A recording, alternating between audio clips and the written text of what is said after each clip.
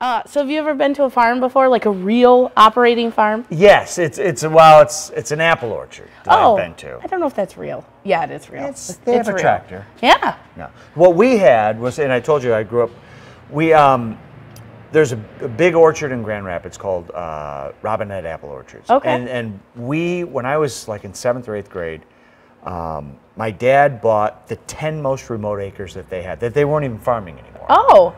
And we he knocked out a few trees, put a house right in the middle of it, and for ten years we farmed. That, Oh, We brought it all back and. Um, took out a bunch of trees and replaced them with dwarf trees. And, and when my parents sold that place, um, we were actually producing more bushels per acre than Robinette's was. Oh. So Cool. yeah, we put it all back in shape. We had a In 10 It fun. acres? Ten acres. Yeah. I mean, not not then their whole property, but Right. like per per. Like, did your mom make a lot of apple pies? Yeah, my grandma mostly. My oh, grandma was. Yum. We used to have. We had, we- awesome grandmas. we had we had a few spy trees on the property. A spy tree? A, a spies is a uh, a spy is a uh, type of apple. Okay. Um, they're very tart, but they're used in cooking a lot, and okay. they're huge. Oh. And my dad kept that one spy tree so my grandma could cook Yeah. with those apples. Oh, cool. And she, they're they're huge to where like. You could make a pie out of like one and a half spy apples. That's all you need. They're, Oh. they're humongous, but they're like I said, they're kind of a cooking apple. If you bit into one, Right. they're real tart. Okay. So Well, I got to give you credit for coming to a farm today. It's quite the attire Thank you you. got. You know, this wasn't even on purpose. This was uh, by accident. I think on the way over here, I looked and said, well, I kind of look like maybe I. You look uh, like a farmer, kind of, maybe a little little. bit, so, yeah. Uh, you're gonna roll around in the dirt. No, I'm not going to roll around. I got a show it to you, for God's sake. So stand up comedy in a couple hours, and here we are at a farm just checking stuff out. Right, yeah. So I, you want to get up in here and I, check I, I this do want to get in there. Yeah. I don't want to touch anything because I'm afraid I'm going to slip the clutch. Oh, nah, you gotta over turn it on. This one isn't even on. All right. No, this one's not even on. All right. Now, is this one of those situations where you've got A radio, situation. air conditioning? This is one of those things where you're going to be in here all day. Yep. So it's fancy. So, like Oh. looking behind you so that Man, what is my family doing with these tractors? They have some Looks internet like I know more about this thing already than you do. Hey, I've been off the farm for a while. I lived here way back in the day. now, is this uh, is this like uh, where's forward? I think it's on the side. Okay, I see. One, two, three, four. There's Is a there- red-handled thing. You always If you push that one thing thingamabobber, I think you'd be good. always be careful about the red-handled lever. I think that's probably that's probably a good rule, not just in farming, but anything in life. Yeah, yeah. To be, Be careful cautious when you see a red-handled red lever. handle. so, if you were farming, what would be your music you'd listen to? Like, what would you be listening Something to? Something all day. Yeah. To be honest with you, this is probably showing my age. I'd probably like talk radio. Yeah? Something that Nice. makes me think about things. But you wouldn't get tired. No. I mean, you know, the hum of the tractor, and you're moving along. Right. I mean, it can be tiring. Um, I would imagine hard rock would get tiring after a Yeah, while. Yeah, that's true. You gotta have something yeah. easy listening. Yeah. When I was uh, when I was younger, I was a teenager, and my dad had me working the fields more. And I always like to take naps in the afternoon. I, I mean, like to this day, I like to take a nap. Mm-hmm. I love naps. And um, I had all this beeping. All of a sudden, I heard all these horns, and I woke up. I was in a tractor, and I had fallen asleep, and I was making a big circle with a plow. and I worked up the neighbor's field where he had planted like we owed them thousands of dollars. Yeah. Oh, my Just because I skipped my nap for the day. Yeah.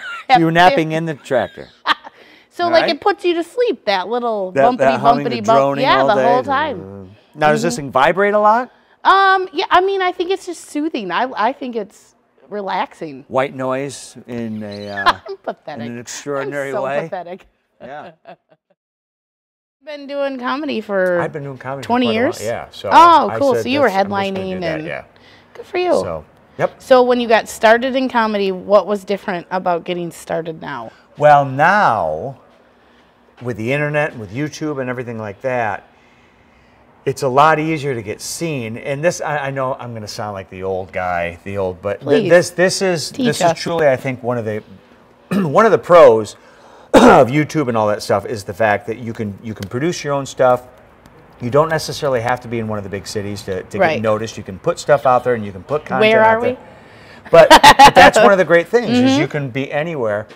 The problem with that is that I don't think I don't think some of the comedians today, some of the young comedians, get up and, and get really good at what they're Being doing funny. in front of the right mm-hmm. crowds. And, and in front and, and by that what I mean is in front of any crowds. Mm-hmm. You know, they kind of get stuck into going to these open mic nights and stuff like that, which is great. You've got to get on stage and you got to get time, but you're always in front of the same people, you're always in front of your buddies, you're always in front of other mm-hmm. open micers.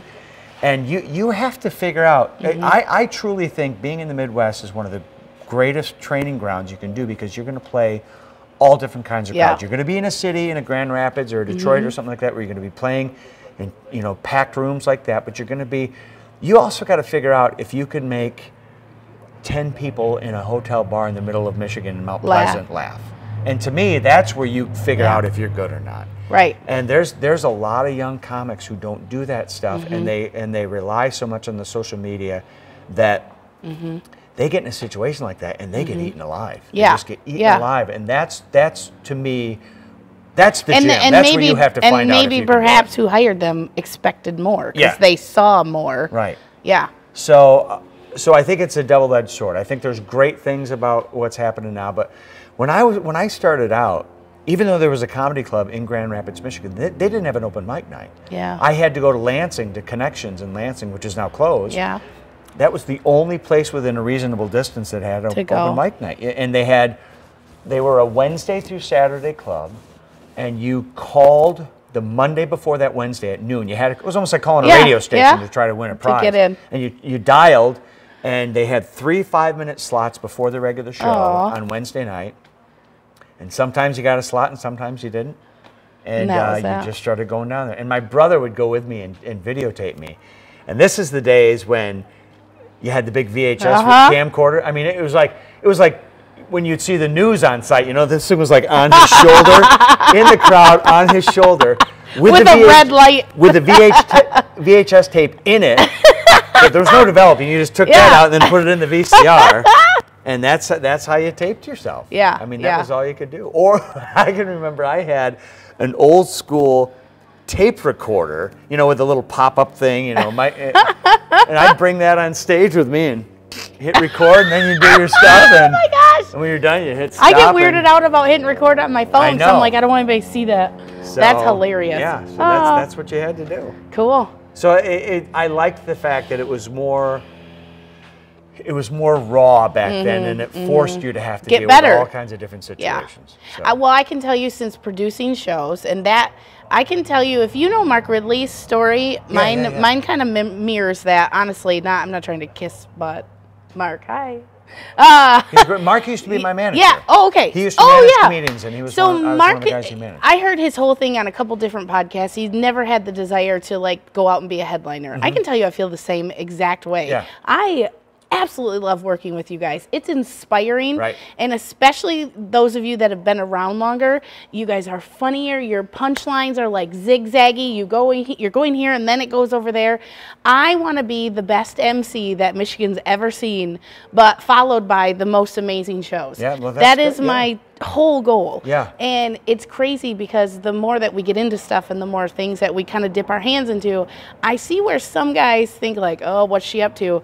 Nothing. I just want to make a bigger audience for Yeah. you guys. Like Yeah. honest to And that's great. honest to goodness. Mark is a great guy to kind of to mimic or you know use as a mentor or whatever because he is, you know, Detroit has seen its share of comedy clubs come and go, Yep. and he has been He's around right for there. a long time. And the reason he's been around is he does it right. He, Yeah. um, you know, he gets great comics in. He treats he treats the comics great. You know, that's one of the things. That's why people want to play there. Yeah. You know, if you're going to come to the Detroit you area, that's do, where you're going to play. Yep. Because you know, um, Mark respects you. The Yeah. club respects you. They're going to treat you nicely. Yeah. And make you feel like you know there's Right. you have You're value. somebody. I mean, there's there's a, there are a lot of clubs out there. There's a lot there's a lot of clubs that are great, but there are a lot of clubs out there that you went in and you just you felt like a piece of meat. you know, yeah. You just felt like Well, I'm hearing that. Yeah, I, I didn't. Uh, I didn't know that was a that was a thing. We have a couple little theater shows, and you know we try to ask what you guys need backstage, Yeah. and have a little green room. It's not pretty, but Yeah, but have what you need back there. And Yep. we have VIPs that come and meet you guys, and you'll be there this summer. I'm really Yeah, excited to yeah, have you Franklin, out there. yep. Yeah, and um, it's interesting because sometimes the guys are like, "Man, I just did a show. They shoved me in a dark room, and it was like, we'll tell you when it's your time. Stay here." Ah, and I'm like, "Oh my god." Yeah, that's always fun. Oh, is it your van out of the way far enough? I probably. Where did Okay, man so go? I'm going I'm all right the way up. behind you. There's nothing Jeez. for the first time. You'll jumping all over the place. Alright.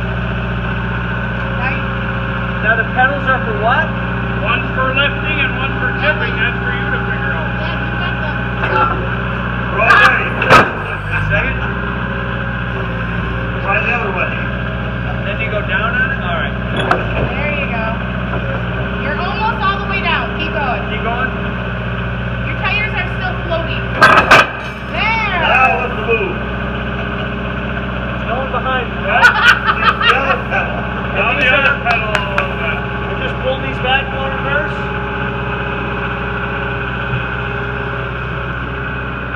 Use your other pedal and it'll lift it up a little. Lift the forks up.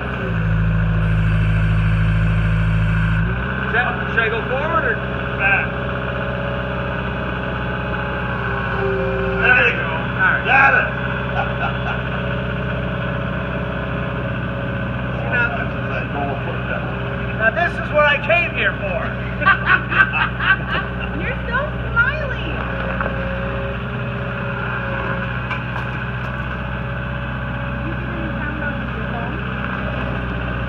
Yeah. Can you turn? Oh, it's like that video game Tank Battle when you were little. Hey, why don't you go try and pick up this tube?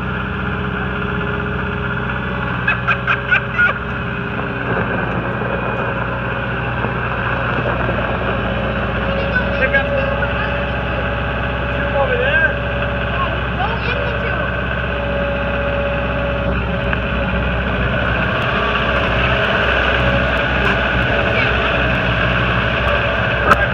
Here.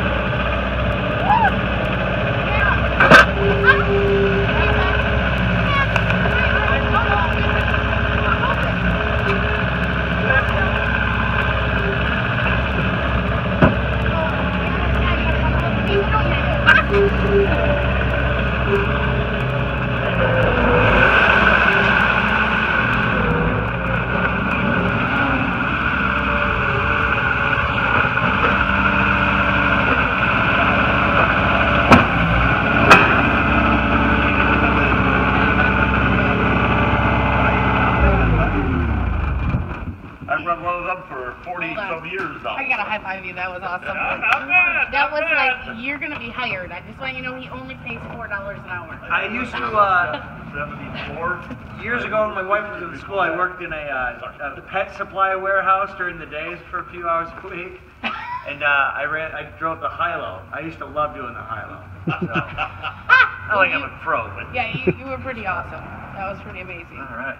Now, is, I know this is a different kind, but is it, Bobcat works on the same principle, same. pretty close. Yeah. yeah. I'll have one by the end of next week. Where are you gonna put it? I don't know. Does that feel good? Yeah, it was fun. Is that a good portion? fun to of drive. Well, we were trying to cover the label. Oh, why Yeah. you can't advertise I'm not high end. Don't trust, trust me. I'm- There we go. Now, yeah. Busch Light. Have you ever had a Busch Light before? Yeah. I've been in parking lots before.